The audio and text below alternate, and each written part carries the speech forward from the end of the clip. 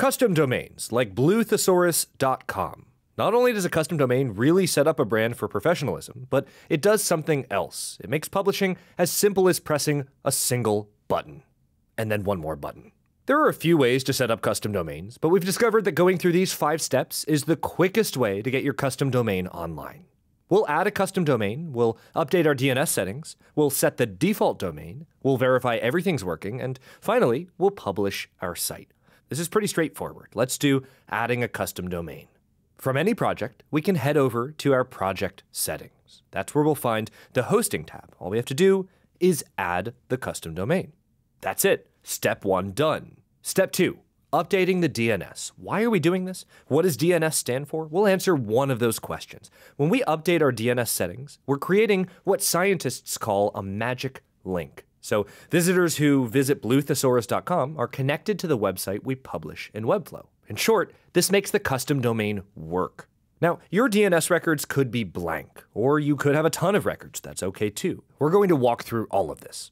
Before we continue, we really recommend taking a full screenshot or writing down exactly what you see here. So if anything goes wrong, you can revert to your original settings. Once you've done that, now's the time. If you already have any A records which have their host listed as at, delete them. Delete any A records with the host set to at. If you have other A records with hosts that aren't at, here's one in this example for mail, one for FTP. What does that mean? We have no idea, except we do, but it's not at all relevant. Why? Because the only thing we care about here is that we have no A records that have a host of at. Other A records are okay. That's taking care of the stuff with at. By the way, what does the at symbol mean? Scholars trace its origin to ancient Roman aqueduct workers who needed to quickly contact their supervisors via email. One last thing before we move on. If you have any A records or any CNAME records that have www as the host, delete those too. Now, once you've done that, or if you have none of these existing records in the first place, we're good to move on to the last part. Now, this last part, what we're about to do, involves adding two A records and one CNAME record. These values on the screen are examples, but we're going to grab the real ones for your site in just a moment. Let's start with the two A records. All we have to do is grab those from the hosting tab back in our Webflow project settings. Again, the values in your hosting tab might be different than what you see in this video. So how do we get them over? We can write them down on sticky notes, or we can just copy and paste. Click right on the value to copy it. Back in your DNS settings, we just paste in those values. We just paste them into our two A records. We want to copy each of the different values from the hosting tab into each of the A records. So let's confirm what we have so far. We need to make sure we have two A records with a host of at, and we want to verify that they point to each of the values we pasted in from the hosting tab. That's it. So that's the two A records. What about the CNAME record?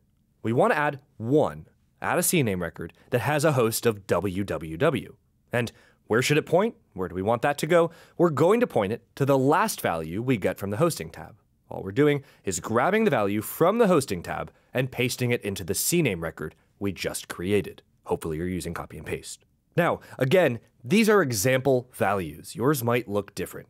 But let's confirm we're done here. We should see two A records that have a host of at, and they should point to the stuff we pasted in. And we should see only one www, a CNAME record that points to the last thing we pasted in. And that's it. Now, if you run into any issues with setting these values, you can reach out immediately to your DNS provider. But that's DNS settings. Let's move on to setting the default URL. This takes about a second. Back in the hosting tab, we need to set one of these as the default. This means all incoming traffic will go to the right version of your site.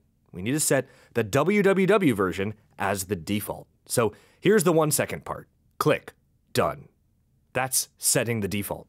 Next, we'll verify. Why are we doing this? Because we want to make sure our domain is actually pointing to the right place. All we have to do is verify by pressing check status. Now, sometimes DNS changes take a few minutes to propagate, or even longer if it's a new domain. So if this doesn't work right away, chances are you're fine, and you can come back later to check. Or you can always reach out to your DNS provider to make sure the records are set correctly. But that's it. Once we're connected, we can move on to our last step publish. All we have to do is publish our project and it'll be live right away. So, from the project settings, we added a custom domain. We just typed it in. We went to our DNS settings and added two A records that point to the right places. Then we added one CNAME record that points to its correct address. We set the default URL by pressing the little house button. We verified that everything was linked up, and we published by pressing a single button, and then one more button. That's connecting a custom domain in Webflow.